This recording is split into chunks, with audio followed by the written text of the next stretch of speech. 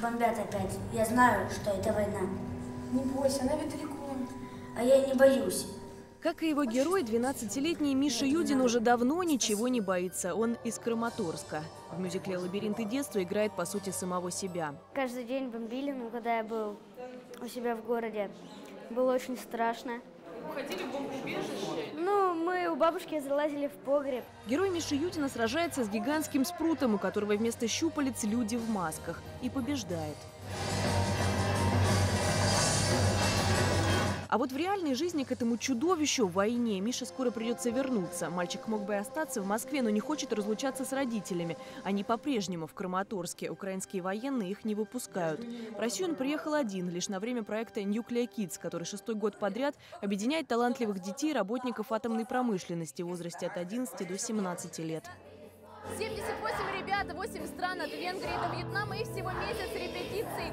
Этому спектаклю уже рукоплескали в Петербурге, Екатеринбурге, Челябинске, Бурно и Братиславе. И вот теперь его показывают в Москве.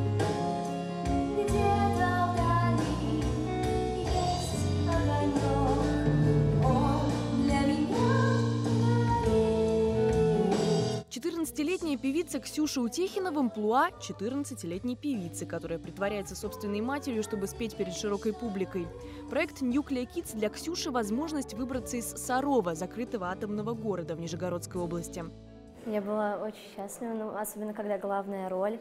Э, Это, конец- конечно, ответственность, особенно первая новелла. Лабиринты детства – это бесчисленные двери во взрослую жизнь. За каждой таятся не детские вопросы. Справедливо ли устраивать самосуд над одноклассником? Если родители остались без работы, не отдать ли им обратно карманные деньги? И не рано ли жениться, если тебе всего 14 лет? Они гораздо умнее, наверное, чем были раньше, потому что, к сожалению, приходится сталкиваться с огромным количеством проблем, которых раньше, наверное, и раньше представить не могли дети, что могут пережить такие вещи, как там войны какие-то, болезни невероятные и так далее. Поэтому любой спектакль, он обязательно поучительный. Нынешний вышел поучительным не столько для детей, сколько для взрослых, для которых финальная песня звучит как упрек. Вы нас учите любить, но сами мир на части. Дарья Ганиева и Дмитрий Шлемин. Вести.